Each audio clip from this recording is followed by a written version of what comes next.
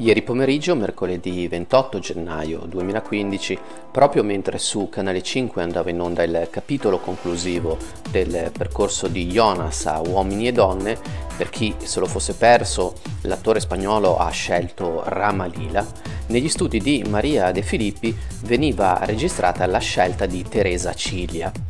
C'è davvero tantissimo da raccontare, in questa sede sintetizziamo gli avvenimenti principali, quelli che proprio non potete perdere.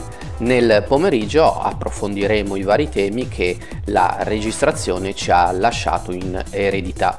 Ecco le anticipazioni. Si parte con Andrea Cerioli.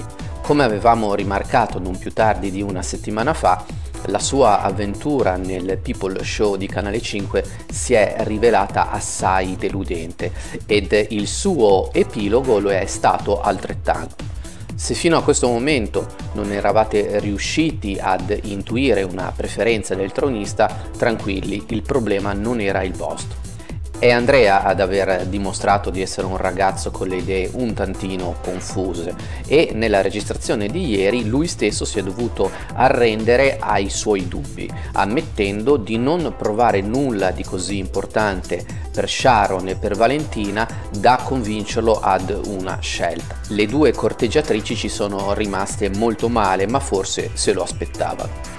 Capitolo Teresa Cilia la giovane siciliana invece le idee chiare le ha sempre avute e con la decisione di ieri lo ha dimostrato.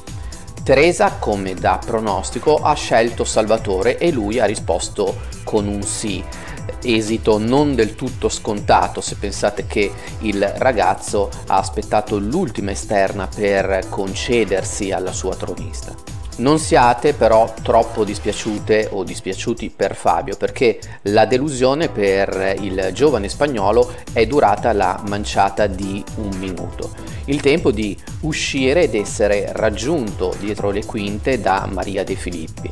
La conduttrice gli ha offerto il trono, lui e una ragazza bolognese di 21 anni di nome Valentina sono i nuovi tronisti.